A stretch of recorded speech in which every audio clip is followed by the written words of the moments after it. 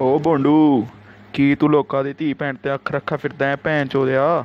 ਜੇ ਇੱਕ ਵਾਰੀ ਕੋਈ ਪੁੱਠਾ ਕਾਰਾ ਕੀਤਾ ਨਾ, ਮੈਂ ਭੁੰਡ 'ਚ ਗੋਲੀ ਮਾਰਨੀ ਹੈ। ਸਮਝਿਆ ਕਿ ਨਹੀਂ? ਸਮਝਾਵਾਂ।